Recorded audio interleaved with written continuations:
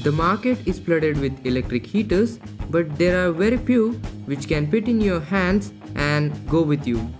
So, today we are going to build a pocket size heater and a cooler using a Peltier module. So, let's get started.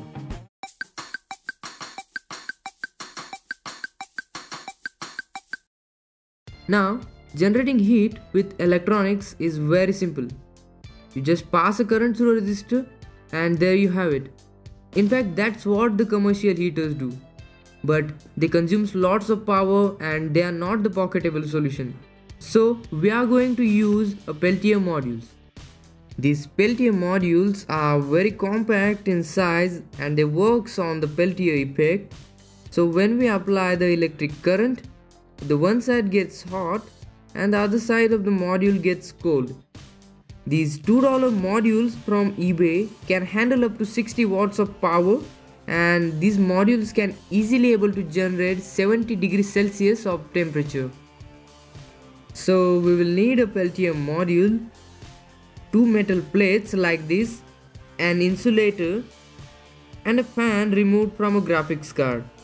I got mine for free from a repair shop but if you don't have one you can buy similar fan for just $2 on eBay. And you also need a thermal compound. So the first step, clean the metal surface and the Peltier module. Then apply some thermal compound evenly onto the Peltier module. Place the module onto the heat sink. Then place an insulator foam to insulate the cold side. Place a metal plate to fit all this together and attach a metallic protection plate to the pan. Connect the both pan and the Peltier module in parallel along with the connector of your choice and you're done. Now you have a basic portable heater that will keep you warm with anything like a laptop AC adapter or any 12 to 16 volt batteries you have.